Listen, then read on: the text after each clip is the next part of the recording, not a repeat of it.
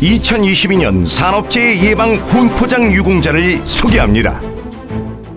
주식회사 원엔지니어링 신상병 대표이사가 은탑 산업훈장을 수상합니다. 그는 조선사에서의 오랜 근무 경험을 살려 6대 위험재해에 대한 24개 체크리스트를 개발하였습니다.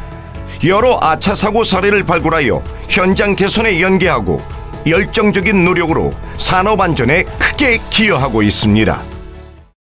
영창케미칼 주 이성일 대표이사는 동탑 산업훈장을 수상합니다.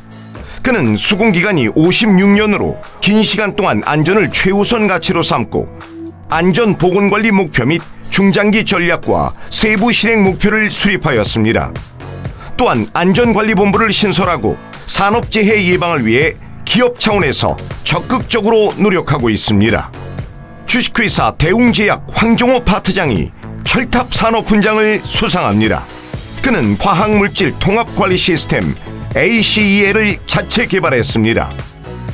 부서 안전보건 준수 평가 제도를 도입해 자율 안전보건 경영체제 구축에 일조하고 진급시험의 안전보건 과목 시험을 신설하고 특별교육 프로그램을 도입하였으며 안전보건 가이드북을 제작, 창의적인 산재 예방 제도를 개발했습니다.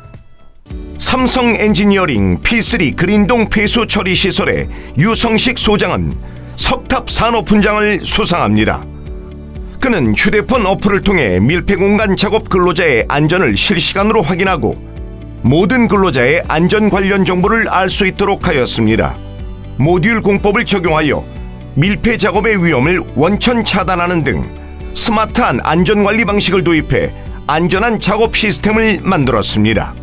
GS건설 주 여의도동 31번지 복합시설 신축공사 박종민 전임이 산업포장을 수상합니다. 그는 철저한 모니터링 시스템과 상황실을 운영하고 위험 상황을 수시 점검했습니다.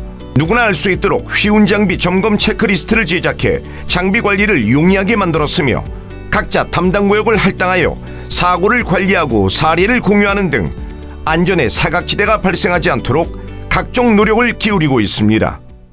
주 부강건설 새만금 전주간 고속도로 건설공사 한선재 부장이 산업포장을 수상합니다. 그는 안전사고 예방을 위해 장비를 개발하고 기존에 있던 현장 안전장비의 편의성을 강화했습니다. 그의 안전을 위한 다양한 아이디어는 각종 공모전에서 가치를 인정받았습니다. 뿐만 아니라 스마트 안전장비를 도입하며 건설 현장 전문가로서 현장 안전에 이바지하고 있습니다. CJ 제일지당 주 양산공장 전강표 공장장이 산업포장을 수상합니다. 그는 RM데이를 매주 1회 진행, 구성원이 자유롭게 산업재해 예방 아이디어를 제시하도록 하고 이를 현장 개선에 반영하였습니다.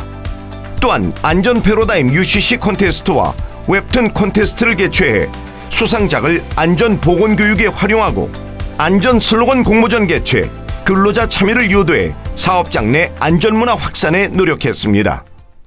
한경대학교 김용곤 교수가 근정 포장을 수상합니다.